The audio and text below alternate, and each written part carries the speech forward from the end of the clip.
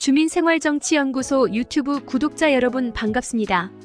지난번에는 검찰 김여사 무혐의 법률가 양심 따른 결론 최접근 치밀이란 주제로 영상을 보내드렸는데요. 정치인의 목적은 다양한 사회적, 경제적 상황과 문제를 고려하여 국가 또는 지역의 발전과 민생을 위해 노력하는 것입니다. 그러나 주민 여러분 어떻습니까? 과연 구의원, 시의원, 국회의원, 구청장, 시장들이 위와 같은 정치인의 목적을 제대로 실천하고 있다고 보십니까? 오늘은 이번엔 참모 출신 서울 이소리에 네 번 당한 용산이란 주제로 영상을 보내드리겠습니다. 김대남 전 대통령실 선임 행정관이 지난 7.23 국민의힘 당대표 선거를 앞두고 야당 성향의 유튜브 채널 서울 이소리 소속 이명수 씨와 통화하면서 한동훈 당시 후보를 공격하는 보도를 해달라고 요청한 녹음이 지난달 30일 밤 공개돼 논란이 되고 있다. 서울 이 소리에서 활동하는 이명수 씨는 지난 대선 기간 48차례에 걸쳐 김건희 여사와 7시간여 통화하고 그 녹음 파일을 MBC에 제보한 사람이다. 이 씨는 또 2022년 9월 최재영 씨가 김 여사에게 디올백을 전달하며 몰카로 촬영했을 때 디올백을 직접 구입해 최 씨에게 전달하고 해당 영상을 공개했다. 이번에 논란이 된 김대남 전 행정관의 5시간 녹취도 이 씨가 김 전 행정관과 통화하면서 녹음한 것이다. 여권 내부에서는 그렇게 당해놓고도 대통령실 행정관이 어떻게 이 씨를 다시 상대할 수 있느냐는 비판이 나왔다. 이른바 김대남 5시간 녹취는 서울 이 소리가 지난달 23일 유튜브 채널에서 처음 공개했다. 김 전 행정관이 지난해 9월부터 올해 8월까지 11개월 동안 총 5시간가량 이 씨와 통화한 내용이라고 한다. 서울 이 소리는 먼저 김건희 여사가 공천에 관여하고 있다는 취지의 김 전 행정관 주장을 공개했다.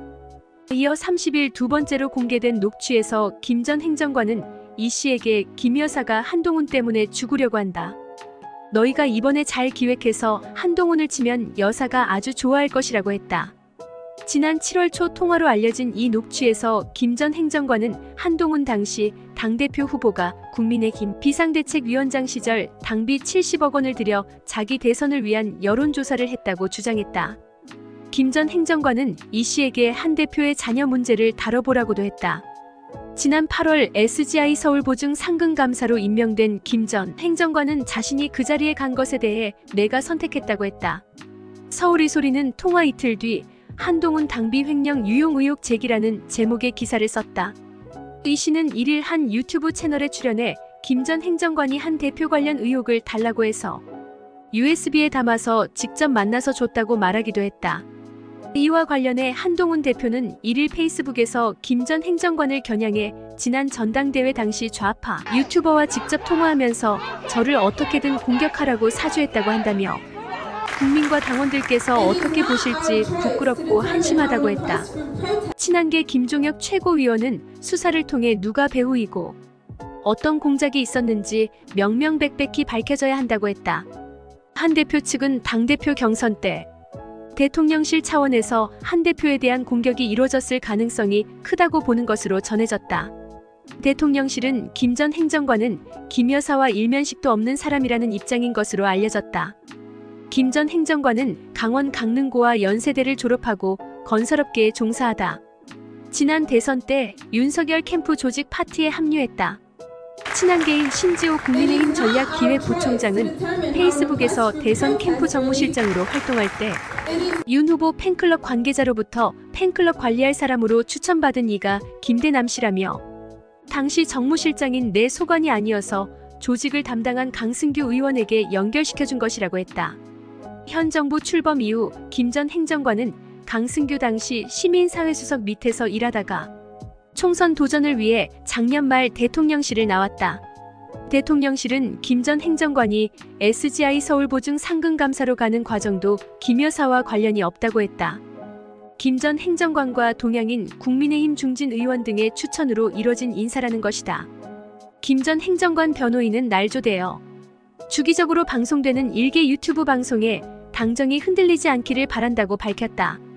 김 전 행정관은 시민사회수석실의 우파 유튜버 관리 문제 등을 취재하려는 이 씨와 접촉하게 됐고 같은 강원 영동 지역 출신이라는 점 때문에 가까워진 것으로 알려졌다. 하지만 이 씨는 지난 대선 때부터 김 여사를 스토킹하다시피 해 대통령실 입장에서 요주의 인물이었다. 이 씨는 지난달 18일에는 김 여사가 심야에 서울 한남동 대통령실 관저 주변을 반려견과 함께 산책하는 모습을 차량 블랙박스로 촬영해 공개하기도 했다. 여권 인사들은 김 전 행정관이 김 여사 악마와의 총력전을 펼치는 세력에 먹잇감을 던져준 것이라며 대통령실 참모들의 기강과 현실 인식에 심각한 문제가 있다는 것을 보여준다고 했다. 그리고 정치인들이 선거에서 당선되기 위해서는 생활정치 유튜브를 효과적으로 제작하여 지역 주민들에게 홍보함으로써 선거에 당선되기 위한 발판을 마련할 수 있겠지요. 아무리 지역 주민과 소통하고 지역의 어려움을 해소하는데 앞장서며 투명한 활동 보고를 통해 지역 사회 발전에 기여했다 하더라도 지역 사회에 효과적으로 알리지 못하면 정치인으로서의 발전을 기대할 수가 없는 것입니다. 중도표의 80%가 유튜브에서 나오고 있습니다. 정치인이 1인 미디어인 유튜브를 활용하지 않는다면 정치를 포기한 것이나 다름없다는 말이 수도권을 중심으로 전국으로 확산되고 있습니다. 유튜브를 활용하여 1만 명 이상의 구독자를 확보하고 있으면 선거에서는 50%를 먹고 들어간다는 것이 시대적 현실입니다. 지역사회에서 생활정치 유튜브 제작을 원하시는 정치인이나 후보자님들이 있다면 010-2242-7909 카톡으로 연락을 주시면 생활정치 유튜브 제작 지원센터에서 자세하게 안내해 드리겠습니다. 이 영상이 마음에 드신다면 구독과 좋아요 꼭 눌러주시면 감사하겠습니다. 다음 영상에서 또 만나요.